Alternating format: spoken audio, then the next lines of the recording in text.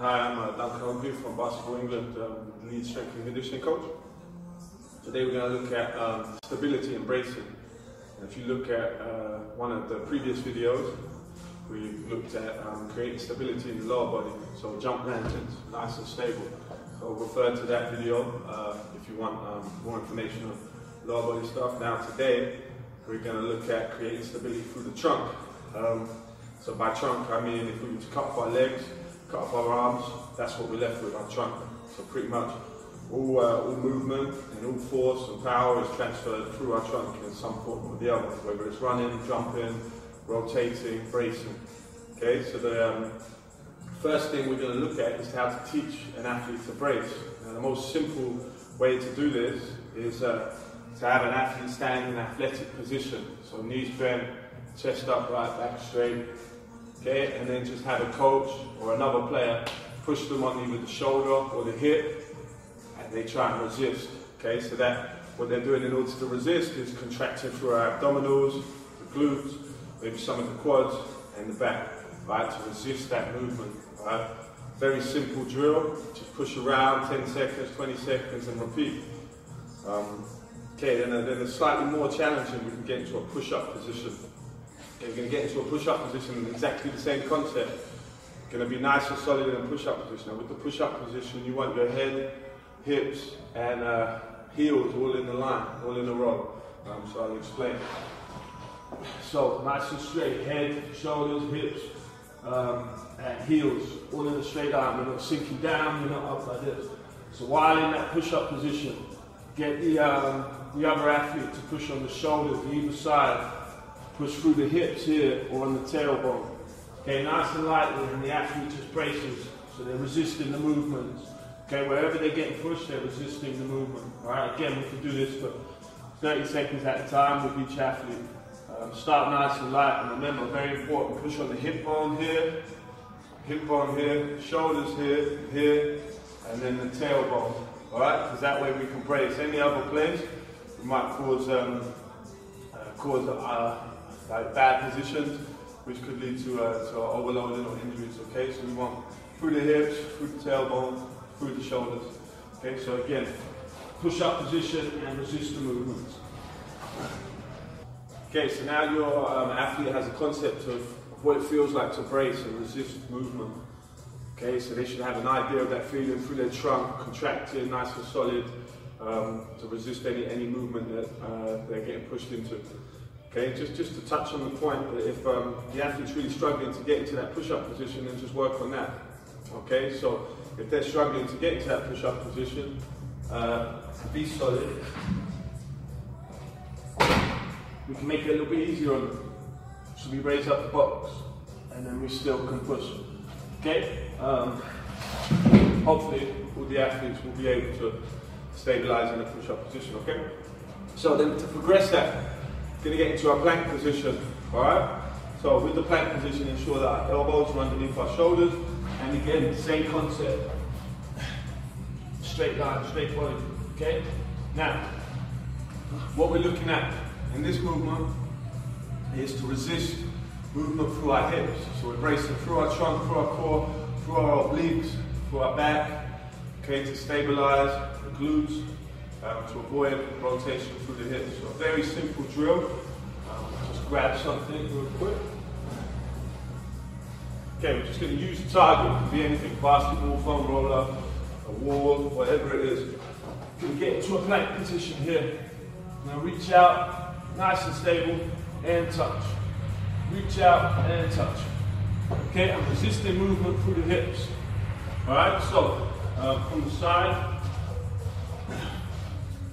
touch, and touch. Okay. Athlete that struggles with that, we can go with a wider base. So feet further apart. Okay. Um, if they're good, feet closer together. Okay. To really challenge yourself, you can put a foam roller on your back, just uh, on your tailbone here. So the foam roller's here. We reach out and we touch without the foam roller falling off. That would really challenge them to make sure that their hips are stable. That's a good external cue for them to figure out how to stabilize their hips. Okay? That's a nice, simple drill, working on bracing um, and controlling body movement. Again, uh, if we're looking at uh, reps or for time, we want to put a decent amount of time under tension. Uh, so, you know, build work capacity through the trunk. So maybe 20 touches, so one, two, three, four, or for 30 seconds at a time, reaching out and touching. Again, if they can't hold a plank, that's where we start. We hold a nice solid plank position for 30 seconds. So we start at a push-up position. If they're good at that, we can go into a plank position. If they're good at that, we can work on touches. Okay, so I shouldn't have skipped over that. Plank, basic. When they're solid at that, we can add in movement and touches. Okay, just to touch on a, a few progressions uh, of the, the plank touches that we just showed you. Okay, I'm going to show you with the foam roller. Okay, so I'm going to position the foam roller nice and stable in my back and get down into that plank position. And then I reach and touch. Now I'm stable, but if I'm unstable, straight away that foam roller pulls off and that gives me an external cue that I wobble my hips. Let the athlete figure it out. Okay, so you just place it there, tell them to touch, falls off, put it back, and let them figure out the body position that they need to be in, and now have a really good transfer into their learning. Um, okay, and then just some progressions of that. If they're really solid with touches, we can play around, okay, be, uh, be imaginative. So in, in essence, what we're looking at is more time off the floor. We can pick things up and move them while keeping those hips still. We have a teammate in front of us, we can reach out, touch hands, or we can go from here, a bit more challenge and lift up into that plank, into that push-up position, and then back down. Combine it, lift up into that push-up position, reach out, and back down. Okay, all the time, the focus is on keeping the hip still. So if you see your athlete doing this, and there's no, there's too much movement in the hip, regress them back to something more simple.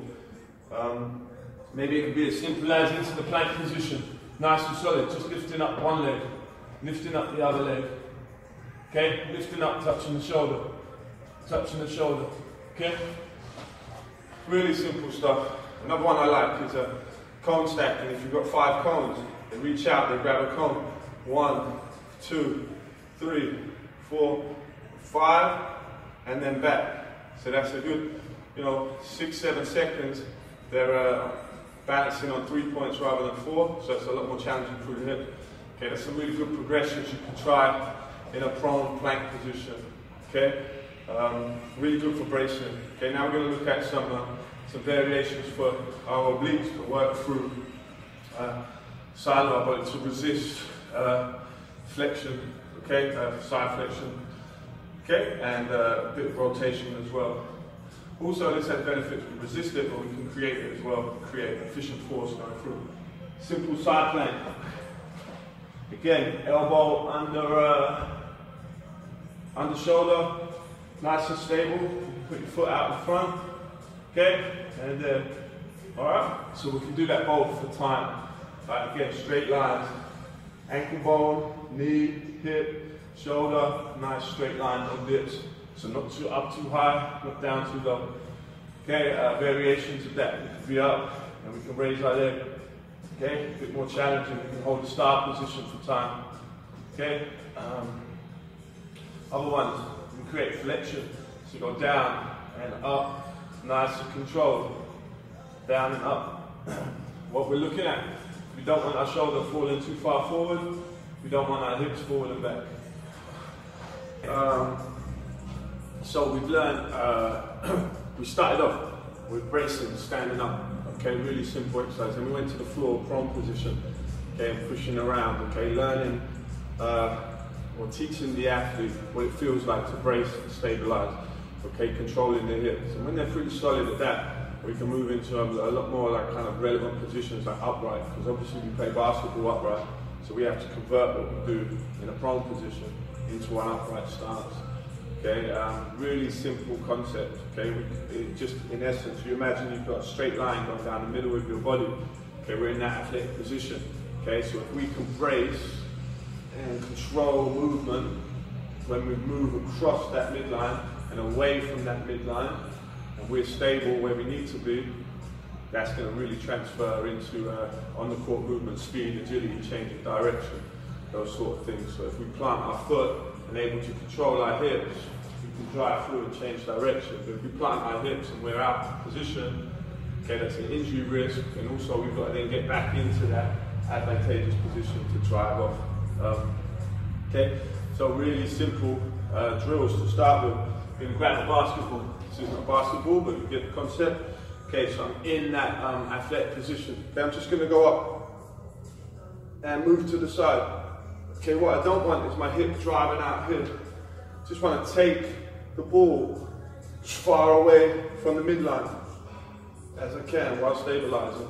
Okay, really simple. You start here and rotate across while stabilizing on the lower body. Okay, so we don't want to, as we rotate, and we don't want our knees coming in into a bad position. Nice and locked and stable coming through. Okay, very simple. All right. Um, we can grab a dumbbell. Hold on one second. You can grab a dumbbell. Now, if you don't have dumbbell, you can just use a shoe or anything, a foam roller in your hand, um, something to grab onto and move with. Okay. So now, in that solid stance position, then we can go up with the dumbbell, and then over with the dumbbell while controlling it right through my trunk, controlling the movement. Okay, I'm going to start on the opposite hip come back and rotate and come through again. Controlling rotation, not allowing your body to move out of line um, or move out of uh, a good anatomical position. And then the last one again, rotate in front and come across. Okay, very easy. Our hips, are, our feet are under our hips. I'll show you on the other side. Straight up, nice and easy. We're bracing, we're stabilizing. Over, controlling that movement through our trunk coming back, following it with my eyes, I'm not dipping the shoulder, I'm just rotating through, keeping a nice stable body, and then from the hip, up in front, and coming across. Okay, really simple and easy stuff we can throw into our warm-up, just little activation things. Okay, then we're going to get into a split stance. Now it becomes a bit more challenging because we're changing our, our, base. Okay, now uh, we're on a narrow line, we're straight forward. Um, split stance, more, more challenging to, to stabilize and brace. Same movements, up and down, over and back. Starting that opposite hip, come forward and back. Now what you don't want is that knee coming in. Nice and stable through, through your chest, through your glutes, lower body, solid. And then up in front, okay? So opposite arm, opposite leg, just try the other side. Up and over, back and up in front. Okay? So think about the concepts you've got. Um, got that center midline. Okay? We're taking it away from that midline, but at the same time controlling it. So we're under control. We can go far, and we've got the ability to control and come back. Think about that in reference to basketball. Um, very important skill to have. Go into a split start, same thing, rotate it up, be imaginative with these drills. You have a basketball, you can rotate across, lean over, rotate back. Okay, as long as we're what we're looking at is stability below the hips, movement above the hips. Okay, um, challenge that even more. Add movement. So we've got our basketball. Gonna go across. May have seen this loads of time in the warm up. Again, stability below the hips, movement above the hips. Very important in basketball. Again, be imaginative. Think about what you want to see. Okay, nice, good uh, alignment. Um, okay, and rotation, bracing, those sort of things are through the movement. Okay, so if you don't have dumbbells, use something else. Use a basketball, whatever it may be. But that's a nice, solid way to resist movement and progress and be stable. Okay, which will transfer into lots of different different things.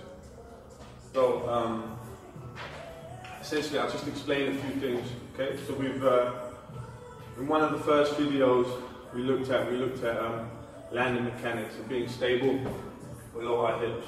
Okay, not allowing the knees to come in, single leg landings. Okay, um, a common thing that happens in single leg landings is you might be stable from the hip to the knee to the foot. The upper body is moving, right? So hopefully, once you do some of these drills, the athlete starts to really understand how to brace and how to control their trunk. You can land and they're more stable here Okay?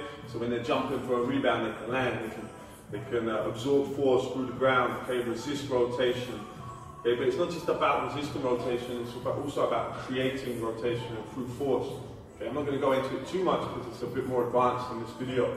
Um, but then we can start to develop rotational power because we've created um, created stability. All right.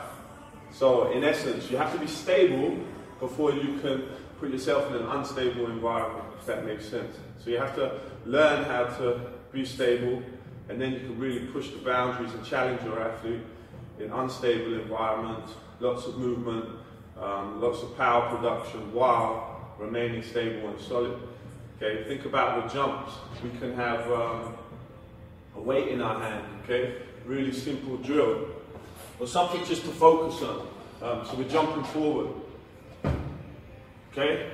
By pressing out and being solid, I'm creating stability and bracing the upper body, which automatically allows me to control my body better and correct alignment faults. Okay, does that make sense? Jump forward, coming through from the side. Okay, I'm creating stability through here. So that's a little advanced um, tip, but hopefully you get the idea of why we're doing these drills. Okay, it's all about coaching these drills. Okay, I can give you drill after drill after drill to do, but you have to understand the rationale for why we're doing it. Okay, so we're doing it because we want to control um, forces, we want to control rotation, we want to brace and absorb forces. And in order to do that, we have to be stable and solid through our trunk. But then once we're stable and once we're bracing, okay, we can then create force and know that when we're landing, when we change the direction, we have the ability to brace, stable, nice, perfect alignment, to change direction and go. Okay, so if you understand that, play around with it, come up with your own drills, but it's all about progression. Create stability. Firstly, make sure the athlete understands what bracing is. So the push-up position, the plank position, okay, learning how to use their trunk. Think about a coaching cue, getting punched in the stomach. Okay, you're gonna brace and stable. So if they land, think about getting punched in the stomach when you land, you're gonna be stable. Once they understand that, you can start challenging them. Okay? Don't challenge them before they can brace, because ultimately that looks horrendous. It's going to cause injuries, um, and it's not advantageous for performance. So start slow, build it up, and hopefully we can get somewhere really good. Thank you. Um, any questions, give me a shout, emails below. Um, there's probably some links in this video to previous videos that are now on YouTube, so check them out. And um, yeah, look forward to hearing from you. Give me a shout. Let me know how you're getting on. Thank you.